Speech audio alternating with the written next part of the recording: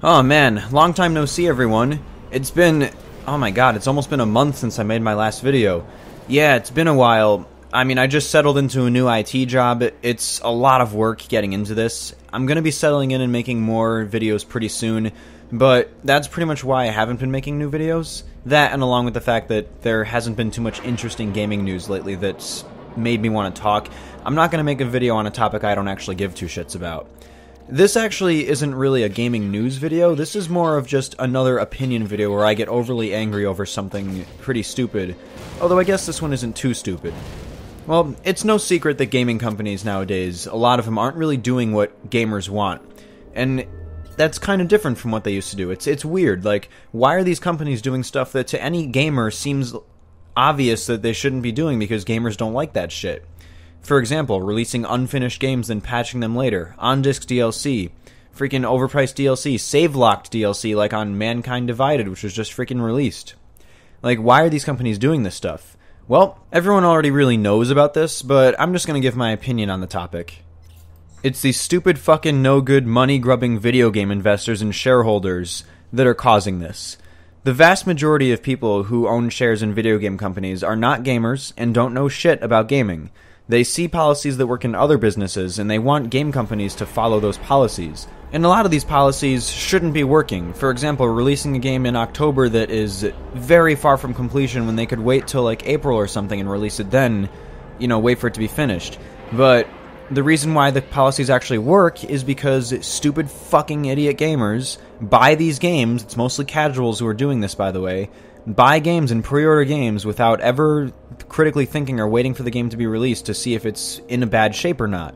But the fact that this even has to be done in the first place is because of the shareholders who are requesting these companies do these policies, release games before they're ready for maximum profit, um, add on disc DLC, or I guess that hasn't really been a thing, but you know, those same bullshit DLC practices, do this stuff, do that.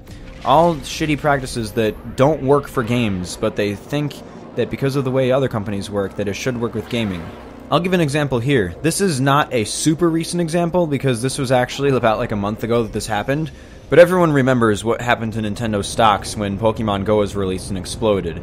Their value went so high that Nintendo was worth more than Sony as a whole for a little bit on the market. That was crazy.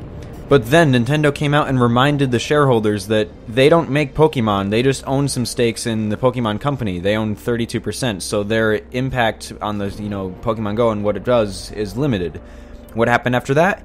Nintendo's shares plummeted because these idiot fucking shareholders realized, "Hey, they didn't actually make this game. Nintendo's associated with Pokemon, but they didn't actually make the game. So, let's sell our stocks."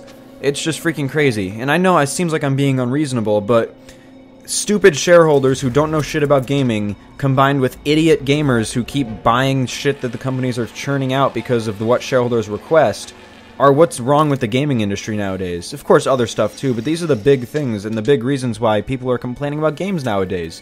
It's very rare for a gem to be released and it being really good. I mean, the game I'm playing here, uh, I actually am enjoying this game and it's actually a lot of fun for me. But it's a classic example of a failed promise game being released because it's being packed by big companies and stuff, even though it's technically an indie game. I bought it because I knew what to expect, and I still enjoyed it. And that's perfectly fine. If you buy a game early and you know exactly what to expect and you still enjoy it, even if the game is uh, de- like an unplayable mess, which at least this one isn't, then yeah, that's fine. It's it's to each his own. If you actually wanted to buy it, that's great. But as a whole, if you freaking keep pre ordering games and buying games on day one and then complaining about them being shit later on, well, that's your problem.